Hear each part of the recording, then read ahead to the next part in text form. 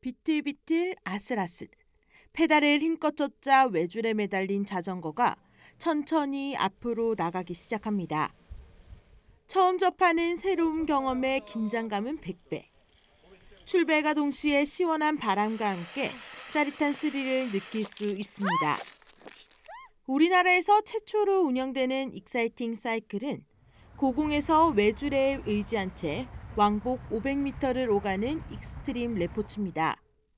extreme 사이클은 지상 22m에서 자전거를 타고 riding하며 가야 테마파크 정경을 즐길 수 있습니다.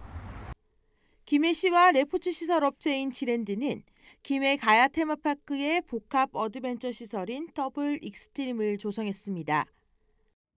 저희 extreme 프로그램이라고 해서요. exciting 사이클과 exciting 타워, 타워가 두 개가 좀 구성이 되어 있거든요. 저희가 국내 처음 도입되던 시설, 시설이다 보니까는 많은 연구도 했었고요. 그리고 테스트도 거쳐가지고 저희 가- 가야 테마파크에서 처음으로 선보이는 시설입니다.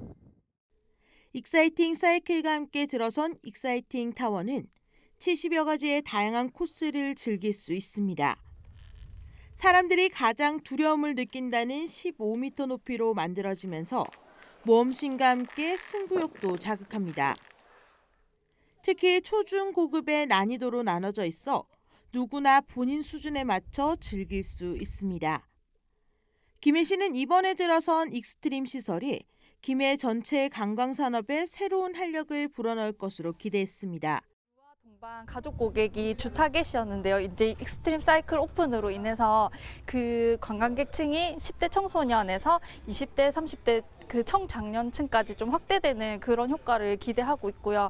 그리고 해외 관광객 유입에도 좀 도움이 될 것 같습니다.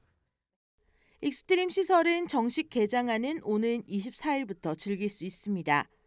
헬로티비 뉴스 전주연입니다.